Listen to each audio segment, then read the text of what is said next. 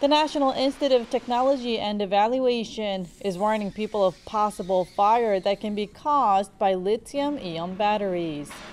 Such fires are happening more often due to the batteries being disposed of improperly. There were 3,000 more fires in garbage trucks and disposal facilities in fiscal year 2020 compared to the previous year.